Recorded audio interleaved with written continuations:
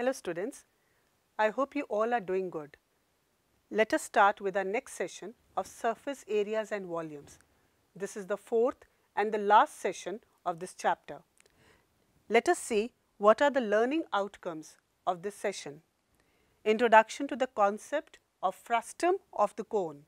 You will also learn the formulas for volume and surface area of the frustum of the cone.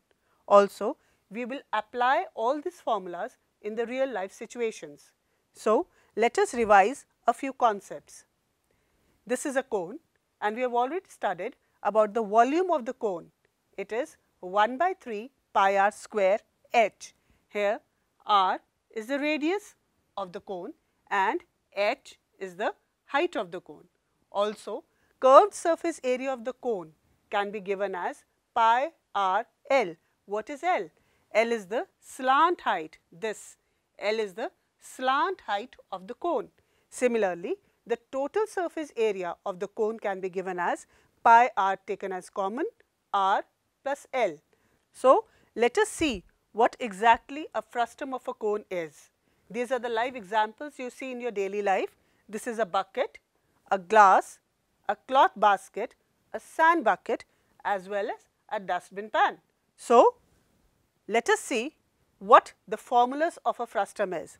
This is a frustum. See, a part of the cone. This is a frustum, the lower part of the cone.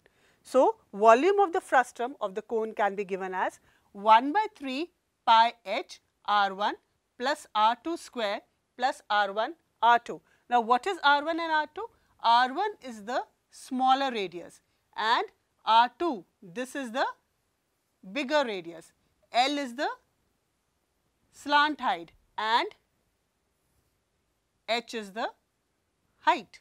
So, volume of the frustum of the cone can be given as 1 by 3 pi h r 1 square plus r 2 square plus r 1 r 2. Okay? And curved surface area, the curved surface area can be given as pi r 1 plus r 2 into L. What is L?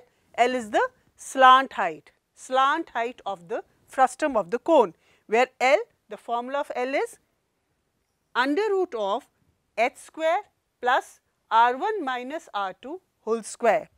Similarly, the total surface area of the frustum can be given as pi r1 plus r2 into L plus pi r1 square pi r2 square. What is r1 r2? r1 is the smaller radius, r2 is the bigger radius. Pi r1 square, it is the area of this portion, the upper disk and pi r2 square, this is the area of the lower disk. Again, L is given as under root of h square plus r1 minus r2 whole square. So, let us move forward and see how these formulas can be applied in the questions. A drinking glass is in the shape of a frustum of a cone of height 14 centimeter. The diameters of the two circular ends are 2 centimeter and 4 centimeter. Find the capacity of the glass. We are given that pi is 22 by 7. You can see here this is a glass, right? And this is the bigger radius the diameter is given as 4 centimeter. So, the radius will be 2 centimeter. Also, the height is given as 14 centimeter. This is 14 centimeter. Okay? Also, the radius of the lower disc, this will be, this is given as diameter is given as 2. So, radius will be 1 centimeter. See, the radius will be 1 centimeter. Okay? So, let us move forward. Since the glass is in shape of a frustum, this is a frustum of the cone. Therefore, the capacity of the glass means the volume of the frustum and we find the capacity by the formula of the volume of the frustum which we know is 1 by 3 pi h bracket r 1 square plus r 2 square plus r 1 r 2 where again r 1 is the smaller radius and r 2 is the bigger radius. Also h is the height of the frustum. Let us substitute all the values and see. we have 1 by 3 pi h. What is R 1? It is 2. What is R 2? It is 1. So, substituting the values also we substitute the value of pi as 22 by 7 and h as 14. Then what is the volume? Volume is 308 upon 3 that comes out to be 102 2 by 3 centimeter cube. Okay. So, the volume of the frustum of the cone comes out to be 102 2 by 3 centimeter cube. So, I hope this question is clear. So, let us move forward to our next question. The slant height of the frustum of the cone is 4 centimeter and the perimeters or the circumference of the circular ends are 18 centimeter and 6 centimeter. Find the surface area of the frustum. As you can see, we can make a frustum here. This is a frustum given. Okay? And according to the question, what we have is the slant height of the frustum is 4 centimeter. This slant height, right? This is 4 centimeter. Okay? Also, we are given the circumference of the circular ends. See, this is the circular end and this is also a circular end. So, the circumference is given as 18 centimeter and 6 centimeter. Clearly, 18 centimeter is the circumference of the upper circular end and 6 centimeter is the circumference of the lower circular end. The circumference of the circle is given by 2 pi r. Now, r is what is r? r is the radius of the circle. So, we can find the curved surface area of the frustum, the complete frustum by the formula pi r1 r2 plus into L, where r1 is the radii, r2 is again the radii and L is the slant height. So, let us move forward and substitute the formulas. Perimeter of the upper circular, what is the perimeter? What do you mean by perimeter? Perimeter is the circumference.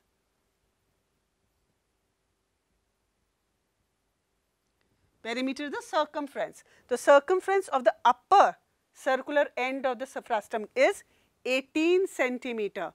This is the frustum, right? And the upper end circumference is 18 centimeter.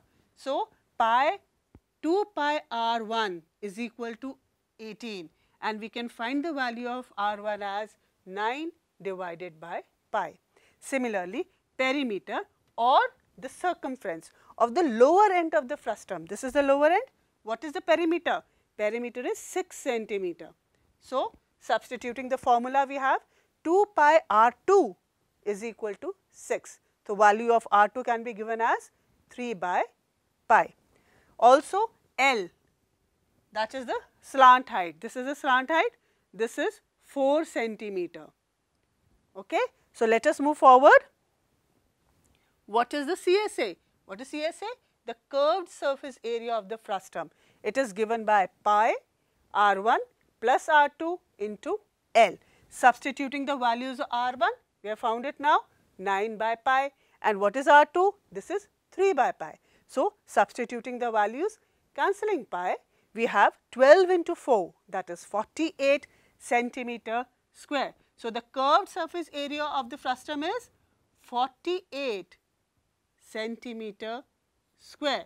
So, this is the frustum, this is the upper circular ring, this is the lower circular ring and this is the slant height. So, what is the curved surface area? It is 48 centimeter square. I hope this is clear. So, let us move forward. We have another question. A fez, the cap used by the Turks is shaped like the frustum of the cone. This is the figure of the fez. If its radius on the open side is 10 centimeter, radius at the upper base is 4 centimeter and its slant height is 15 centimeter, find the area of the material used for making it. Area of the material used. If we want the area of the material used, we need the surface area. So, a fez is shaped like a frustum of the cone. See, it is shaped like a frustum of the cone with radius of open side. This is the radius of the open side. This is 10 centimeter, right? and radius at the upper base it is 4 centimeter. This is 4 centimeter. Also it is given the slant height is 15 centimeter. This is the slant height or we can say this is the slant height, this is 15 centimeter. Now, since it is a fez which is open at the other end, therefore, area of the material used will be curved surface area plus area of the upper base, right? Area of the curved surface area and the upper base. The area of the lower base will not be considered. Why? Because it is open at the lower end. So, let us move forward and put the formulas. CSA or the curved surface area of the frustum will be pi r1 plus r2 into L. r1 is the radius of one base, r2 is the radius of the second base and L is the slant height, right. So, area of the circle will be, this is the area of the circle, the base is a circular end. So, it will be pi r square, where r is the radius of this circle, this is r. Okay. So, substituting with the formulas, we have slant height L as 15, this is 15, radius of open side that is this much is 10 and radius of the upper base this is 4 centimeter. So, total area of the material used will be pi r1 plus r2 into L. What is this? This is the CSA of the frustum plus pi r square. What is this? This is the area of the upper base. So, let us take pi as common. We have r1 plus r2 into L plus r2 square. Now, let us substitute all these values. We have pi as 22 by 7, r1 as 10, R2 as 4, L as 15 and again R2 as 4. Calculating this all and, and simplifying what we have is 710 2 by 7 centimeter square. So, to make this fez the total material required will be 710 2 by 7 centimeter square. I hope this question is clear. So, let us move forward to our next question. A metallic right circular cone 20 centimeter high and whose vertical angle is 60 degree is cut into two parts at the middle of its height by a plane parallel to its base. If the frustum so obtained be drawn into a wire of diameter 1 by 16 centimeter, find the length of the wire. Here you are converting one solid into another. So, a metallic right circular cone is given. The height is 20 centimeter. See, the height is 20 centimeter and this is the cone. Okay? And the vertical angle is 60 degree. This angle is 60 degree. It is cut into two parts with the help of a plane. It is cut out here and this is parallel to the base, right. The frustum so obtained is converted into a wire of diameter 1 by 16 centimeter. This is the frustum formed here. This is the frustum formed. This frustum is converted into a wire. What is a wire? Wire is in the shape of a cylinder. So, in triangle ABC, let us calculate, I will just delete this all. In triangle ABC, see ABC, this is a triangle formed, right, where EF is parallel to BC, this is EF, this is parallel to BC. Then AD is 20 centimeter, it is given that AD, this height, this is given as 20 centimeter also AG, AG is this much, AG, this is G. Okay? So, AG is 10 centimeter. Also, we have been given that angle BAC, this angle, this is 60 degree. Okay? So, all these things are given. I hope you have noted down. So, let us move forward. To get the values of the radii of both ends of the frustum, this is the frustum formed these are the two radii, right? This is the frustum. Both ends of the radii will compare triangle ADB and triangle ADC. This is triangle ADB and this is triangle ADC. These two triangles we are going to compare.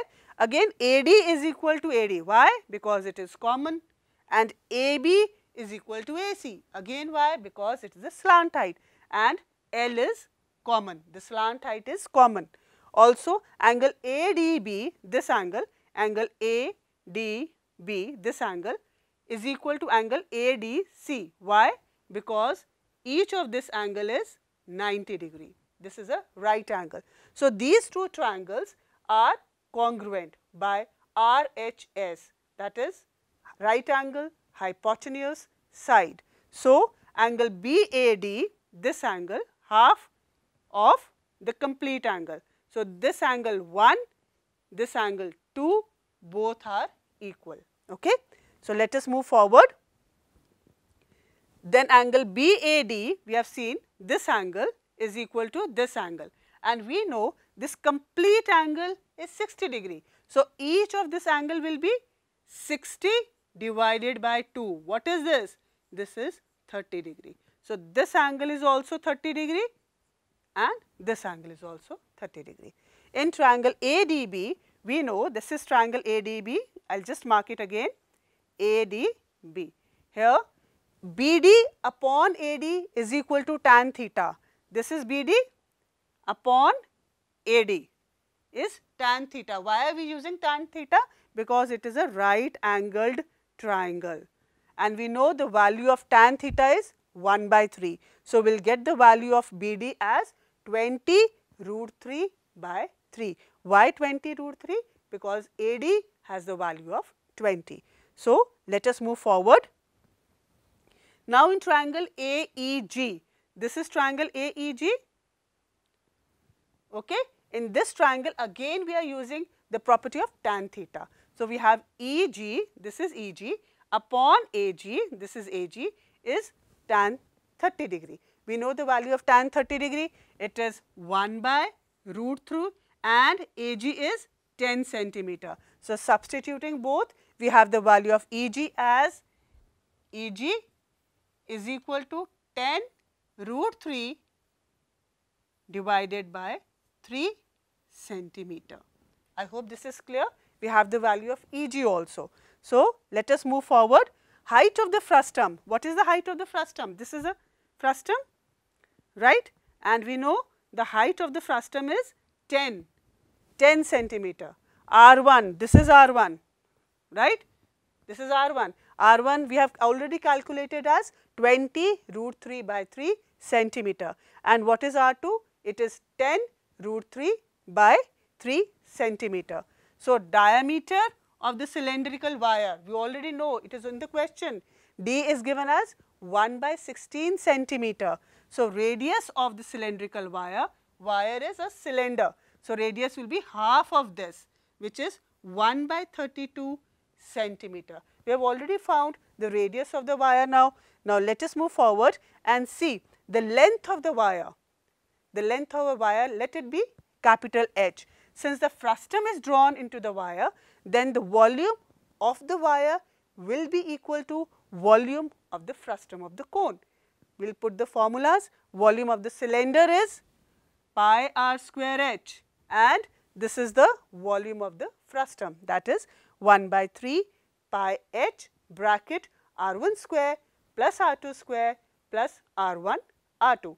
r1 and r2 are the radii, the two radii of the circular ends. So, let us find what h is taking everything on the right hand side keeping h on the left hand side we get this. Now, what we have to do is we have to substitute the values. We have to substitute all the values r1, r2 and h and we substitute all the values we get the value for h. What is h? h is the length of the wire which comes out to be 7964.4 meters.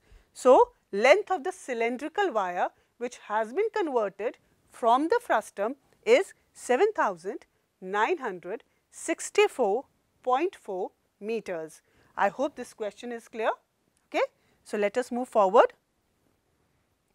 Let us summarize the whole lesson. We have studied this is a frustum, this is the smaller radius R1 and this is the bigger radius R2 and this is the slant height L. Also, we have known that this is the height of the frustum. Now, we have already known the definition of the frustum. Frustum is a part of the cone. The volume of the frustum can be given as 1 by 3 pi h bracket r1 square plus r2 square plus r1 r2. What is h? h is the height of the frustum. r1 is the radius of the upper end and r2 is the radius of the lower end. Similarly, curved surface area of the frustum is pi r1 plus r2 into L. What is L? L is the slant height. We have a formula for the L also. L can be given as under root of h square plus r1 minus r2 whole square. Similarly, the total surface area can be given as the curved surface area, this is the curved surface area plus area of the upper circular end and area of the lower circular end. Wherein again the value of L can be given as under root of h square plus r1 minus r2 whole square. Also you have studied about the application of these formulas in different problems. I hope all the concepts are clear. Here we end the chapter. Thank you.